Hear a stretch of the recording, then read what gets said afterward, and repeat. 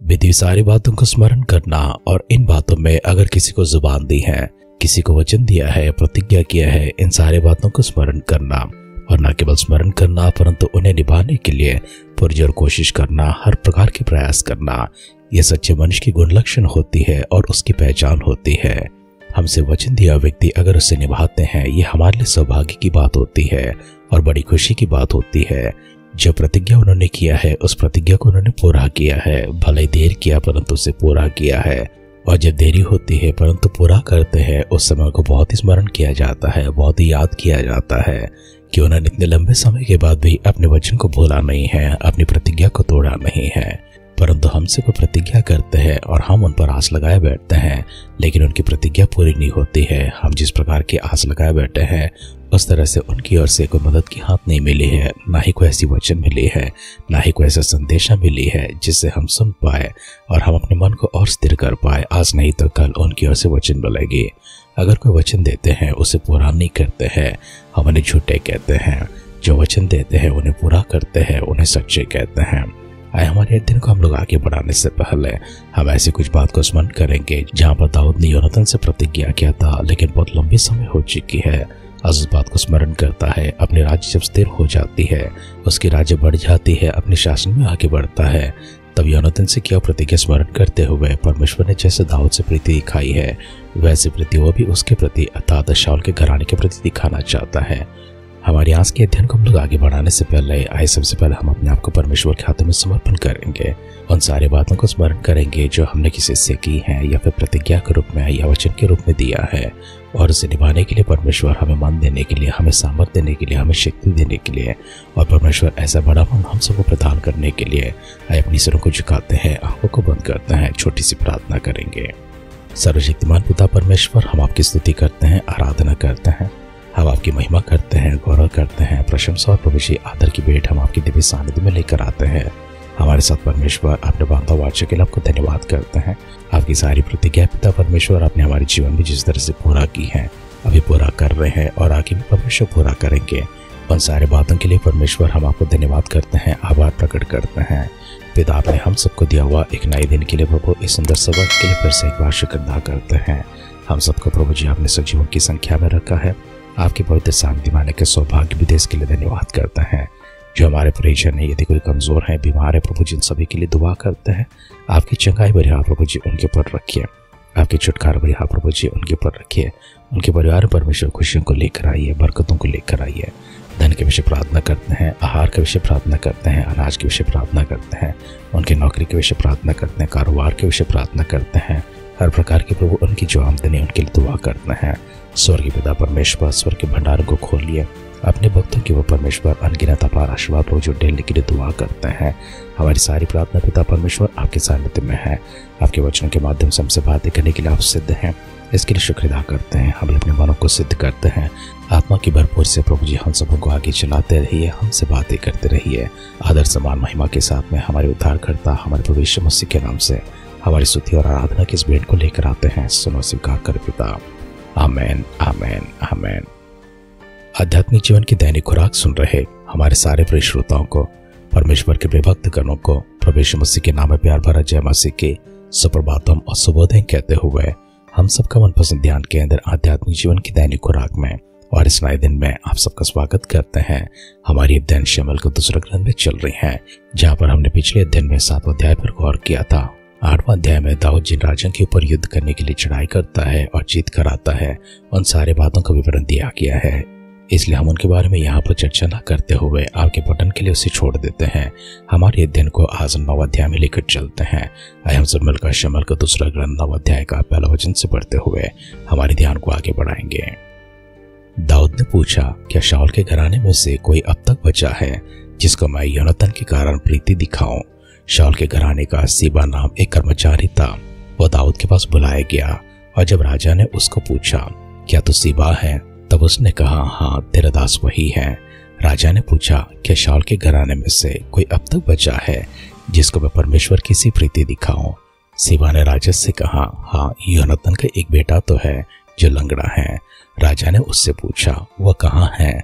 सिवा ने राजा से कहा वो तो लोधपार नगर में अमियल के पुत्र माकिर के घर में रहता है।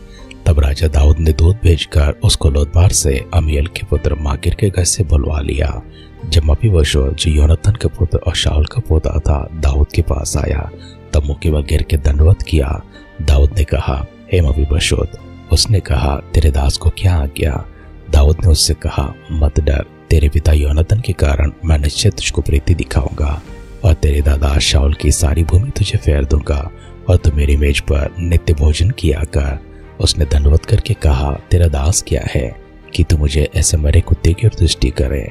तब राजा ने शौल के कर्मचारी सिबा को बुलवाकर उससे कहा, जो कुछ शावल और उसके समस्त घराने का था, वो मैंने तेरे स्वामी के पोते को दे दिया है। अब से तो अपने बेटों और सेवकों समेत उसकी भूमि पर खेती करके उसकी उपज लिहाई करना, कि तेरे स्वामी के पोते को भोजन मिला करे।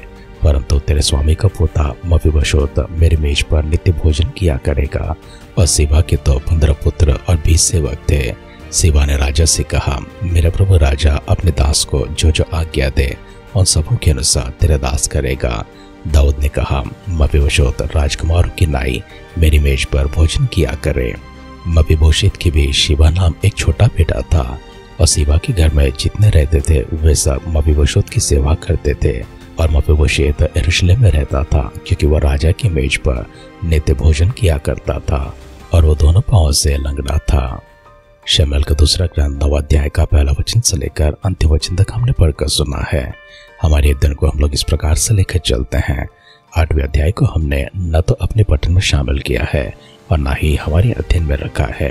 कारण यह है कि आठवें अध्याय में दाऊद उन सारे क्षेत्रों में जाते हैं, उन सारे देशों पर जाते हैं और उन पर लड़ाई करते हुए उनको जीत कर आते हैं और वहाँ से जो कुछ भी मिला है, चाहे वो सोना हो, चांदी हो या पीतल हो, उन सबों को अलग करके परमेश्वर की सेवकाई के पात्र के लिए, अर्थात परमेश्वर की सेवकाई में, उस मंदिर में जितने भी उपकरण बनाए जाते हैं, उन सबों को बनाने के लिए उन्हें अलग कर रखा है।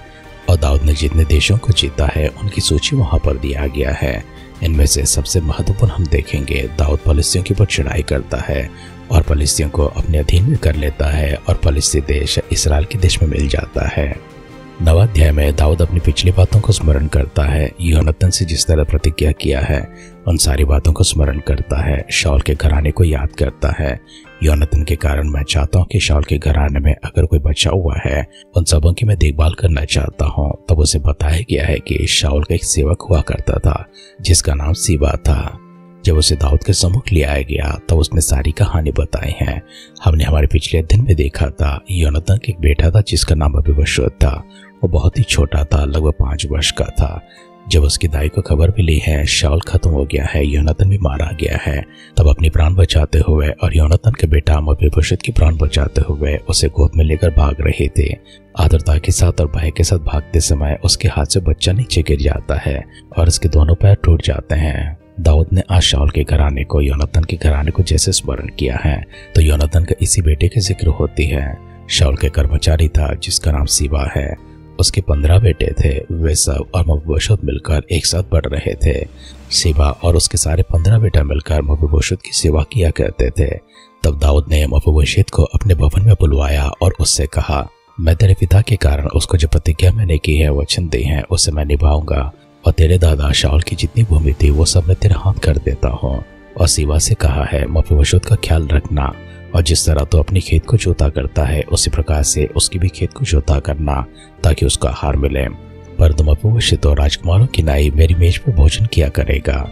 मफीबोशित वैसे दोनों पाँव से लंगड़ा था, परंतु उसका एक बैठा था, जिसका नाम मीका है। वचन संडे प्रिजनों हमारी जब भलाई होती है, परमेश्वर की अनुग्रह और मनुष्य की अनुग्रह हम पर जब बढ़ते जाती हैं। और हम जब स्थिर हो जाते हैं, उस समय हम पिछली बातों को स्मरण करना है, किस स्थिति से और किस रीति से परमेश्वर ने और मनुष्य ने हमारी मदद करके हमें यहाँ तक पहुँचाया है। उन सारी बातों को स्मरण करते हुए अगर हमने किसी से प्रतिज्ञा किया है या फिर किसी के उपकार को प्राप्त किया है, अब उसको चुकाने का समय है। परमेश्वर के कृतार्थ होकर, मनुष्य के भी आभारी होकर, परमेश्वर का धन्यवाद करते हुए, मनुष्य पर दया दिखाते हुए, उपकार करते हुए, हमने जो कुछ भी प्राप्त किया है और जिस स्थिति में आज खड़े हैं, उन सबों के बदले में, उसे परमेश्वर की महिमा करते हुए और मनुष्य के भी उपकार करने का समय आता है। तो इसलिए अपने सिरों को झुकाते हैं, आँखों को बंद करते हैं, हम ऐसी बातों को स्मरण करेंगे, जहाँ पर हमने किसी को वचन दिया है या फिर हम किसी से उपकार को प्राप्त किए हैं। उस समय हमने अपने मन में सोचा था या फिर उनसे कहा था जब भी स्थिर हो जाऊँ मैं भी आपकी मदद करूँगा, भला करूँगा, और जो उपकार आपने मुझ पर की है, उसमें वापस लौटाऊँगा इन बातों को स्मरण करते हैं सिरों को झुकाते हैं, आँखों को बंद करते हैं। छोटी सी प्रार्थना हम अपने आप के लिए करेंगे। दाऊद के पर आपने दिखाया हुआ अपार और असीमित प्रेम का परमेश्वर हमने हमारे वचनों में, हमारे अध्ययन में देखा है। किस तरह से एक चरवाहे बालक को आपने राजगद्दी पर लेकर गया, और उसके बाद परमेश्वर कैसे उसे जय देते हुए उसे स्थिर किया है। आज प्रभु जी उसके ऊपर जो उपकार किए गए हैं और जो प्रतिज्ञा उसने योनतन से की है, उन सारे बातों को स्मरण करते हुए उपकार के बदले में फिर से उपकार को दिखाता है। भलाई के बदले भलाई को दिखाता है, प्रीति के बदले प्रीति को दिखाता है। धन्यवाद करते परमेश्वर, ऐसे अद्भुत वचनों को हमारे पास लेकर आए हैं। हम भी प्रभु जी इस प्रकार करने वाले मनुष्य बन सके। इसके लिए प्रभु जी हमें औदारी के गुण प्रभु जी प्रदान करने के लिए और सबसे बड़ा मन प्रभु जी प्रदान करने के लिए दुआ करना है। ताकि परमेश्वर हमारे मन में न केवल अपने लिए और अपने के लिए, परंतु प्रभु दूसरों के लिए भी जगह मिल सके। परमेश्वर इस प्रकार से आप कार्य कर, इसके लिए आपको धन्यवाद करते हैं। प्रवेश मसीह के बादलों की आत्मा विलम्ब होती है, कल सुबह फिर से एक बार ऐसे बड़े मन को प्राप्त करता हुआ, परमेश्वर आपकी महिमा को देखता हुआ, उपकार के बदले उपकार को दिखाता हुआ, भलाई के बदले भलाई को करता हुआ हम सब फिर से एक बार प्रभु जी लोगों को प्रेम दिखा सके, हम सब प्रभु जी फिर से एक बार लोगों को दया को दिखा सके। इस तरह करने के लिए परमेश्वर, आप हमारी सहायता कर, इसके लिए आपको धन्यवाद करते हुए। प्रवेश मसीह की बादलों की आग भर विलंब होती है, कल सुबह फिर से एक बार हम सब मिलकर स्तुति आराधना करने के लिए, हमें जीवितों के भाग्यवानों की गिनती में रखने के लिए दुआ करते हैं। अगर ऐसे न तो प्रवेश मसीह के बादलों की आगमन में हम सबको शामिल करने के लिए प्रार्थना करते हैं।